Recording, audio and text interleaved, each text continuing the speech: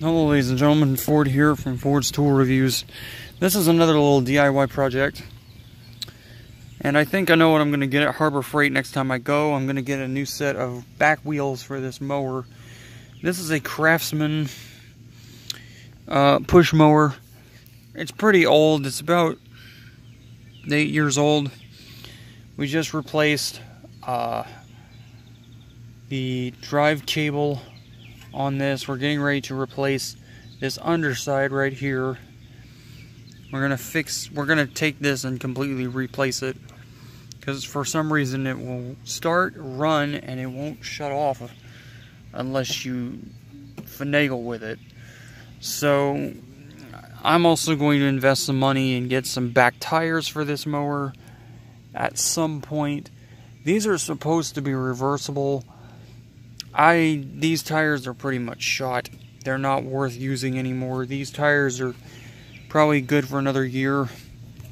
I just say it'd be easier just to get some better ones on the backs of on the back tire or uh, on the back, excuse me. Um, but this is working fine now from what I know. I don't know. It, it's like it wants to work sometimes, and then sometimes it doesn't want to work, which is confusing to me. The drive shaft on this mower is fixed. We put a brand new cable on it. Now, this mower is not our primary mower. The red one you saw earlier is our primary mower. but it is self-propelled, and this is one of the things I like about this mower, and one of the few things actually I like about this mower, is that it is self-propelled. I can go ahead and replace the spark plug on this riding mower because I am not starting it. So that can be replaced. Um, you can see how old this darn thing is. Spark plug eventually is going to need to be changed out. I almost got so mad at this thing. We've replaced the primer bulb, the filter, uh,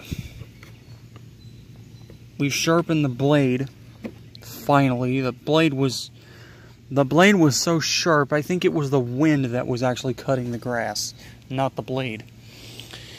Um, zip tied the cables back on with brand new zip ties. The old ones were yellow and gross, and they were gray. One, some were yellow, some were gray. Uh, Craftsman mowers aren't really that bad. It's just you got to keep the blade sharp. And unfortunately for me, I'm not very good at keeping up with this thing. It's not my mower. It's borrowed. But you can see where we sharpened the blade, which is exactly what we need. That's what we need is a sharp blade. Not too sharp, not razor sharp, but we need it sharp. So, uh, yeah. It's not that bad. The drive shaft on this thing, when you pull this and you push these two friction plates together, that works now. This was faulty. If I had about a half a of a five hundred dollars, I'd replace the entire linkage on this mower. And the new part that we ordered for this push mower should be in by tomorrow. And if I can get permission from the owner, because I'm not the owner of the mower, we might film it. He gave me permission to film the mower. And there are obviously quite a few more parts that I want to replace on this especially the back tires. They need to be replaced pretty bad. And the only thing holding these on is a 9 16th nut. And fortunately, I've got the socket set to do this with. I actually have two of them. Three of them, excuse me. And, uh, four of them actually. Wow, I have four socket sets.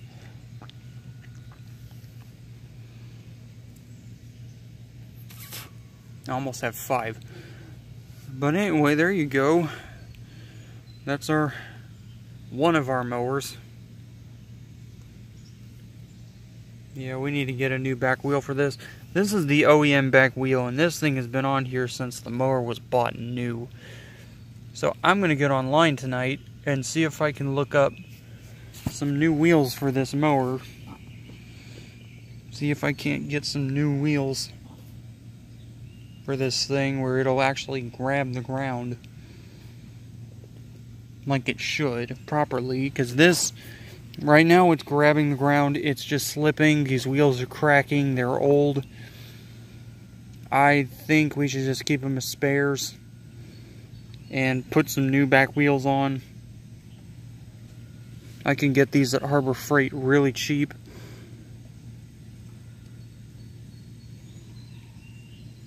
these are basically the front these are actually the OEM uh, drive shaft wheels uh, that came on this mower. And like I said before, I don't hate this, but I also would like it to have a little bit more grip. And not, not immediately, but soon, I'd like to get... They sell an accessory for this mower that gives you a side discharge I would like to get that accessory if possible. Either that or drill two holes and fabricate one in. And the reason is this is great because it's self-propelled. The only thing that upsets me greatly about this lawnmower is that I can't discharge high grass. Um, if you're going to give me a self-propelled mower and it doesn't have side discharge or at least a bagging system, you're pretty much lost me there because you don't necessarily want to mulch grass where I live. It's not a good idea. So, kind of show you guys the uh, piece of wood that I got yesterday. So this is the log that got delivered yesterday. There's a piece of pipe. And uh, there's the log, and you guys can see I already came over here with an axe. I have ripped jeans on because I'm out working. I know, OSHA violation. I'm going to get so many comments. Yeah, yeah, yeah. I'm on my own land, so I can do what I want. But, and I'm not wearing steel toe boots, so what? Cry, cry, whine, whine. Anyway, um, I'm in the process of cutting this. I don't want to use the chainsaw necessarily on this piece of wood because I want to hack it apart before I get the chainsaw in there. Uh, I do plan on using a chainsaw for this, just not right now. So, kind of give you guys a little update of what's been going on. There's the bucket for any of you guys who've been wondering about that it's starting to rust. I've got a little bit of hardware in it right now. And, um, of course, the plank, or the pieces that I've attached, have held up exponentially. So, I did find my metal rod, and I think I know what I'm going to do with this. I'm going to stick one side of this into the metal here to kind of hoist it. Drill a hole right here, through here, and uh, bend it so it'll stay still. I ended up taking the other piece off and I'm just going to leave it like this because I don't really work out here that much and I'm actually going to upgrade because I've got quite a few logs. I want to go with more of a rustic look so I'm going to take a chainsaw and see if I can cut these in half. I have a couple of logs. I have a log right here. I have a log right here that needs to be used. And the sheet pan. And then I have this log. And there's the old, for those of you guys who are wondering, there's the old cowling top for the old for the mower over there. It got broken. It was old. And then this right here I'm going to eventually fabricate into natural wood that I can use on this project and screw it back on with wood screws. I just wasn't really pleased with the um, the metal. I think I could use that sheet pan for something else, like a shelf. So yeah, I just wanted to let you guys have a little bit of an update. I'm not going to take this off the tree though because, excuse me, I need this part right here. And this shelving unit is not coming off. I need that part as well. Otherwise, this thing has been very solid. It's been very sturdy. But like I said, I just couldn't, you know, I can't use the regular wood for this part if I do have a problem. If this thing does break, I want to have a little bit of, excuse me, I want to have a little bit of um, fallback in case of an emergency with it. Again, it's not the best build, but yeah. Anyway, now I would start the mower up for you guys, but here's the problem. Again, we're going by a piece of electrical equipment that's running right now. Sounds like an air conditioner, and you're right, it is an air conditioner. But I'm, definitely going to need to get some new tires for this thing. Some new wheels, I mean. It's just, the fronts are fine. I don't know what the heck kind of wheel we got for this. This is the old front wheels, and we had some wheels that got ruined. And, uh, and she starts up fine once we get the new part on her for the um, turn on and off. Or wait, no, that's the... Yeah, once we get the new shut-off valve... Shut-off valve, excuse me. Darn it! Not valve. Once we get the new shut-off cable linkage on this thing...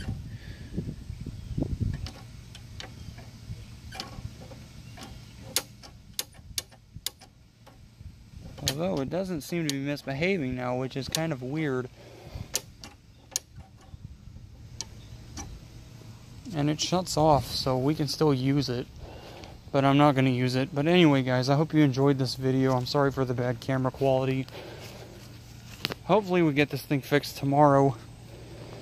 Although I still would like to take these bolts off of here and take a look at the exhaust manifold on this thing on this little Briggs & Stratton 6 horsepower engine because I want to take a look and see if we can get these nuts replaced with newer ones, probably ones that are Duracoated.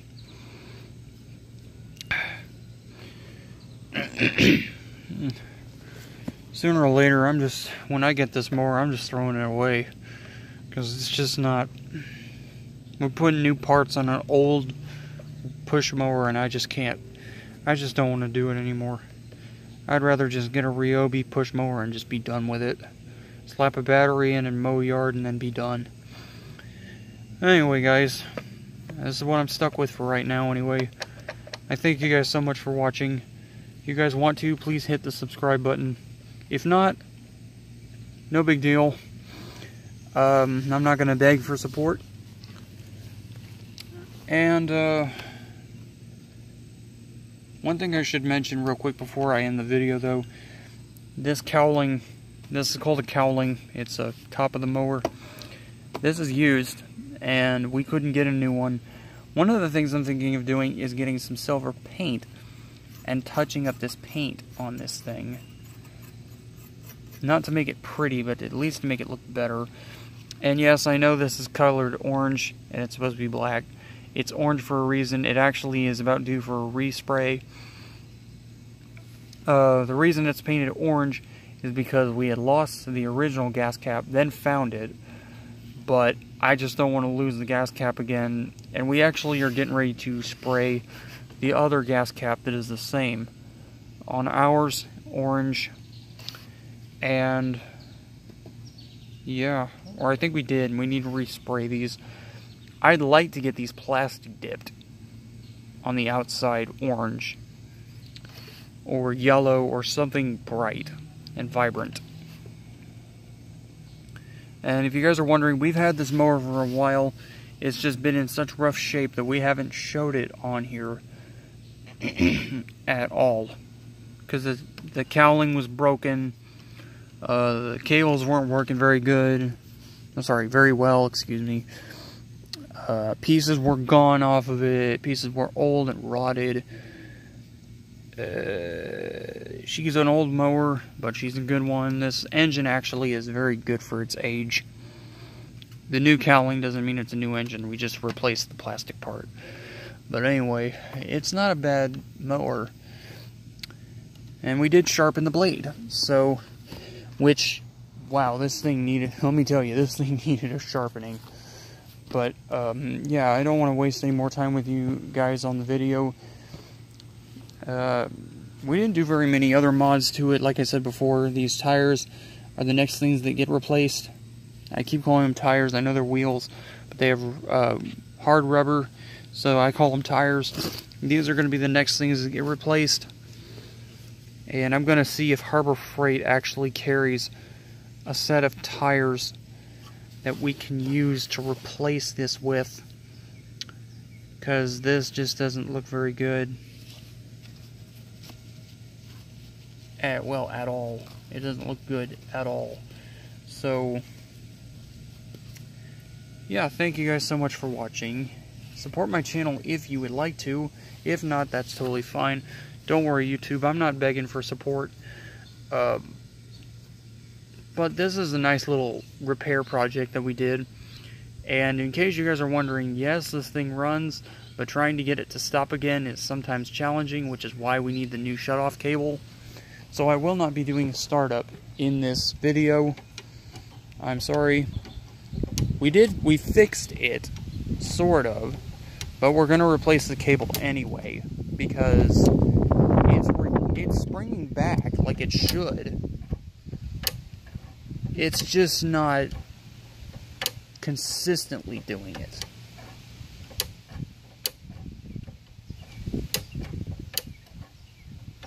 So, yeah, thank you guys so much for watching. If you want to, support the channel. If not, uh, that's okay. It's free country. This is America. You guys can do what you want. If you want to hit the dislike button, go ahead. I know Craftsman's not very reliable, but I honestly haven't had a problem with this mower other than the blade getting too dull when I'm mowing tall, thick grass. And uh, I should probably check the oil in this thing, though, because I haven't done that in a while. But uh, if you're wondering on one of these real quick, the oil on this thing is right here. Yeah, I'd say we probably need to check it. This oil probably needs to be changed. Yeah, so thank you guys so much for watching. Um, like I said before in the video, support and uh, keep on fixing, I guess. Peace.